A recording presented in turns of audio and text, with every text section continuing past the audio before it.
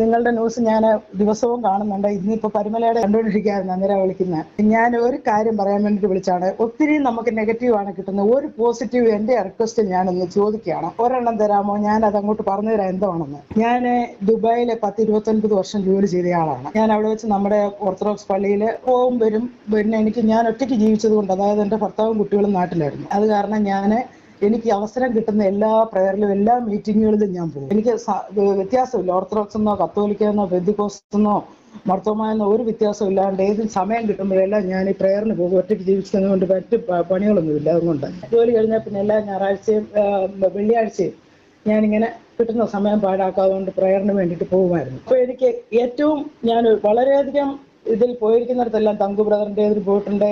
ഒത്തിരി ഇടത് ടിജോയുടെ ഇതിൽ പോയിട്ടുണ്ട് എല്ലാത്തിനും പോയിട്ടുണ്ട്. എല്ലാത്തിനും സുനിൽ പറഞ്ഞതുപോലൊക്കെ എല്ലായിടത്തും പൈസയുടെ കാര്യമാണ് പറയുന്നത്. പക്ഷെങ്കിൽ ഒരൊറ്റ പ്രയറിൽ മാത്രം സ്തോത്ര കാഴ്ച പോലും എടുക്കുന്നില്ല അത് സുനിൽ പറഞ്ഞ അതായത് നമ്മുടെ ശാന്തമ്മ ദൈവത്തിന്റെ അവിടെ പോയിരുന്ന C R Christian revival fellowship എന്ന് പറഞ്ഞൊരു ഇതുണ്ട് സംഘടനയുണ്ട് നമ്മുടെ ഇവിടെ കോലഞ്ചേരിയിലെ എം ഐ യോഹനാൻ സാറിന്റെ അതിൽ സ്തോത്രകാഴ്ച പോലും ഇല്ല. പാപത്തിൽ നിന്ന് നമ്മൾ വിടുതൽ പാപത്തിൽ നിന്നുള്ള മാറ്റം. അത് മാത്രമായിരുന്നു അവിടുത്തേത്. അതിനെപ്പറ്റി നല്ല ഒരു ഇതായിട്ടൊന്നും ഇടാൻ പറ്റുമോ? ആ പറഞ്ഞ എം ഐ യോഹന്നാൻ സാറ് മരിച്ചപ്പോ പുള്ളി എവിടെ കൊണ്ട് അടക്കിയത്? നമ്മുടെ ഓർത്തഡോക്സ് പള്ളിയിൽ. ഓർത്തഡോക്സ് പള്ളിയിൽ. അതെ പുള്ളി എല്ലാ റിവ്യൂവിലും എല്ലാ സുവിശേഷവും എല്ലാം പറഞ്ഞിട്ട് അവസാനം ഈ കള്ളന്മാരുടെ ഗുഹയിൽ തന്നെ പോയി പുള്ളി അന്നേരം പുള്ളി എന്ത് സന്ദേശമാണ് പുള്ളി നൽകിയ സന്ദേശത്തിന്റെ പുള്ളിയുടെ സ്വന്തം ആവശ്യം വന്നപ്പോ പുള്ളി ഈ കള്ളന്മാരുടെ കൂട്ടി പോയി കയറിയില്ലേ? പിന്നെ എവിടെ പോയി അടക്കാൻ പറ്റും? നമ്മുടെ എന്ത്? അല്ല അദ്ദേഹം പറഞ്ഞ സുവിശേഷം അല്ലെങ്കിൽ അത്തരത്തിലുള്ള സുവിശേഷം അതനുസരിച്ച് എന്ന് പറഞ്ഞാൽ വീണ്ടും ഒരു പുനരുദ്ധാനം പ്രതീക്ഷിക്കുന്ന നമ്മളെ സംബന്ധിച്ചിടത്തോളം ഇവരുടെ ഈ കൂതാശകളും സ്വീകരിച്ച് ഇവരുടെ ഈ മാഫിയകളുടെ സെമിത്തേരികളിൽ അവർ ചോദിക്കുന്ന ലക്ഷങ്ങൾ കൊടുത്ത് അവരുടെ കൂതാശകളെ ഏറ്റുവാങ്ങി പോയാലേ നിത്യജീവൻ പ്രാപിക്കത്തുള്ളൂ. അതായിരുന്നു അദ്ദേഹം നൽകിയ സുവിശേഷം. പിന്നെ എന്താ എവിടെ പോണം? അല്ല അദ്ദേഹം സുവിശേഷം അല്ലല്ലോ അദ്ദേഹം പറഞ്ഞിരുന്നത് അല്ല അത് ശരിയാണ്. പക്ഷെ നമ്മൾ നമ്മുടെ ബേസിക് ആയിട്ടുള്ള ഒരു അല്ല അത് പറഞ്ഞപ്പോൾ തന്നെ. അവിടെ പാളി. അദ്ദേഹം എന്താ പറയുക അവസരവാദിയാണെന്ന് അതിനകത്തേക്ക് തന്നെ തെളിഞ്ഞു. കാരണം നിത്യജീവനെ കുറിച്ച് പുള്ളി പറഞ്ഞ പുള്ളിയുടെ പഠിപ്പിക്കലുകളും പുള്ളിയുടെ കാര്യങ്ങളും പക്ഷേ അദ്ദേഹത്തിന്റെ ജീവിതത്തിലേക്ക് വന്നു കഴിഞ്ഞപ്പോൾ അതും ഇതായി. പിന്നെ അതിനുശേഷം ഇന്ന് ആ പ്രസ്ഥാനം എന്താ അവസ്ഥയിലായി? അത് തമ്മിലടിച്ചു പിരിഞ്ഞ് ഇന്നും എത്ര കഷങ്ങളായി ഇന്ന്? മൂവാറ്റുപുഴക്കാരനായ മൂവാറ്റുപുഴക്കാരനും പുള്ളിയുടെ സൈഡിൽ കൂടെ പോകുന്നു. മക്കൾ മക്കൾ വേറെ സൈഡിൽ കൂടെ പോകുന്നു. ബാക്കി ഇവരുടെ കൂടെ ഉണ്ടായിരുന്ന അങ്ങനെ അത് ചിന്ന ഭിന്നമായി പോയില്ലേ ആ കൂട്ടായ്മ? പുള്ളി പോയതോടുകൂടിയാണ് ചിന്ന ഭിന്നമായത് ആ അതാ പറഞ്ഞ. അന്നേരം അതിനൊരു എറ്റേണൽ. ഈ പറയുന്ന പോലെ അദ്ദേഹത്തിനൊരു അസ്തിത്വം പുള്ളിക്ക് അത് കൊടുക്കാൻ സാധിച്ചില്ല. അന്നേരം അതിനെങ്ങനെ നമുക്കൊരു പോസിറ്റീവായിട്ട് പറയാൻ പറ്റും? അല്ല അപ്പൊ പിന്നെ സുനിൽ പറയുന്നത് എവിടെ അടക്കണമായിരുന്നെന്നാ? അല്ല അദ്ദേഹത്തെ സംബന്ധിച്ചിടത്തോളം അദ്ദേഹം എന്താണ് പറഞ്ഞത്? ഞാൻ പറഞ്ഞത് ഇന്നടത്ത് അടക്കിയാൽ ഐഡിയൽ എന്നുള്ളതില്ല. മനുഷ്യൻ മരിച്ചു കഴിഞ്ഞാൽ അവനെ എവിടെ അടക്കാം? അവനെ കത്തിച്ചു കളയാം ചാരമാക്കാം. അല്ലെങ്കിൽ അവനെ മണ്ണിലടക്കാം. അവനെ എല്ലാം ചെയ്യാം. പക്ഷേ സഭയ്ക്ക് കുറെ കാലം വിരോധമായി നിന്ന ശേഷം അവസാനം സഭ അങ്ങ് മൊത്തത്തിൽ ഏറ്റെടുത്ത പ്രസ്ഥാനം തന്നെ അങ്ങ് വിഴുങ്ങി ഇല്ലാതാക്കി കളഞ്ഞിപ്പം. കൂട്ടായ്മയുടെ തന്നെ പ്രസക്തി പോയി.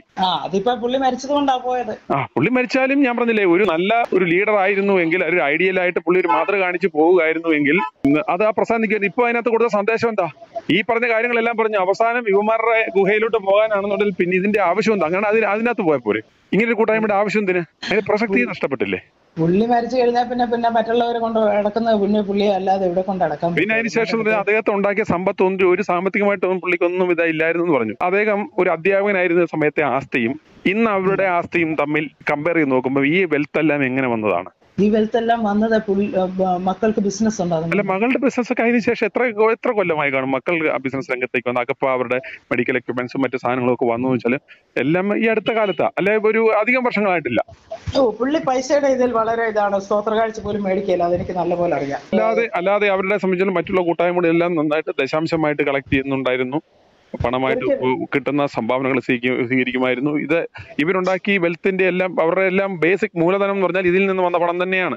ഒരു അധ്യാപകൻ എന്ന് കൂപ്പുന്നതിൽ അദ്ദേഹത്തിന്റെ പെൻഷൻ പൈസ വെച്ചല്ല ഇത്രയും അവർ വളർന്നത്. അല്ല അത് മക്കളുടെ ബിസിനസ് ഉള്ളത് കൊണ്ട് നടന്നു എന്നാണ് ഞാൻ വിശ്വസിക്കുന്നത്. മക്കളുടെ ബിസിനസ്സും കൊണ്ട് അല്ലാതെ കൊണ്ട് അല്ലാതെ കൊണ്ട് ഒരു സ്തോത്രകാഴ്ച വേണമെന്ന് ഒരു പുള്ളിക്ക് എടുക്കാമായിരുന്നല്ലോ. ദുബായിലൊക്കെ എത്രയോ പേര് കൊടുത്തേനായിരുന്നു സ്വത്രകാഴ്ച ഫ്രീ ഒരു ഒരു പ്രയർ ഗ്രൂപ്പ് ആയിരുന്നില്ല അത്. അത് തന്നെ മേടിക്കുന്നുണ്ടായിരുന്നു അവർ.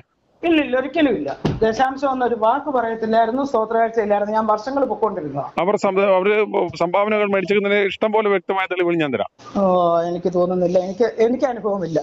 അതുകൊണ്ട് അദ്ദേഹത്തിന്റെ എന്ന് പറഞ്ഞാൽ അത് അദ്ദേഹം ആയ കാലത്ത് അദ്ദേഹം ഒരു ഇരട്ടത്താപ്പുകാരനായിരുന്നു എന്ന് വേണം അദ്ദേഹത്തിന്റെ മരണത്തോടുകൂടി നമുക്ക് മനസ്സിലാക്കാൻ സാധിച്ചത്.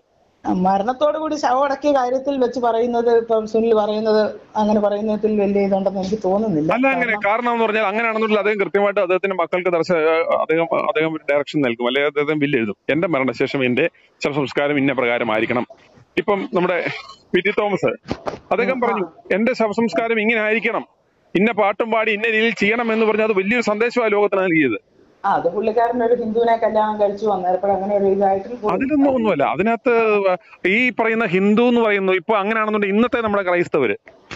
ഇന്ന് നമ്മുടെ ഉള്ള ക്രൈസ്തവർ ഒരു രണ്ടല്ലേ മൂന്ന് തലമുറ മുന്നോട്ട് പോയ ആരായിരുന്നു? അവർ മറ്റേ ഈ യഹൂദന്മാരായിരുന്നോ?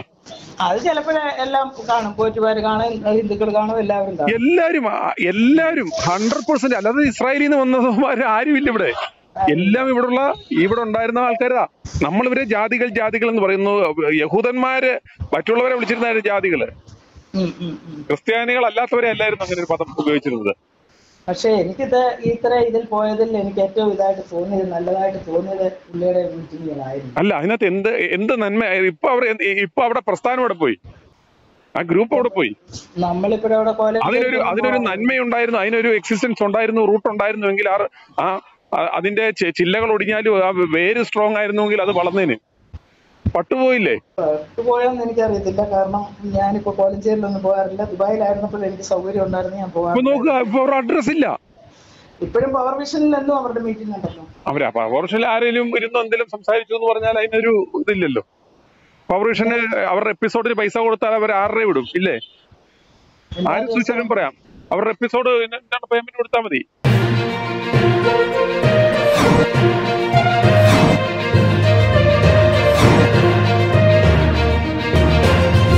സബ്സ്ക്രൈബ് ചെയ്തിട്ടില്ലാത്തവർ ഇപ്പോൾ തന്നെ സബ്സ്ക്രൈബ് ചെയ്യുക. നോട്ടിഫിക്കേഷൻ ലഭിക്കുവാൻ ബെൽ ബട്ടൺ